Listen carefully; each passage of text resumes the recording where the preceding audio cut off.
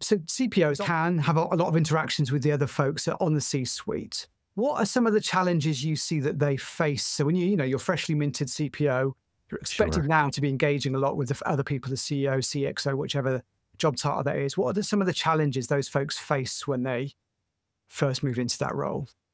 I, I think there's several, uh, particularly for folks who've come up out of the engineering side of life. So they're they're former developers or designers, whatever turned product folks turned chief product officer or VP or whatever the title is. Um, there's a very process oriented view of life here where everything happens in stages and there's a lot of discussion about the details of how we do things. What's the process, right?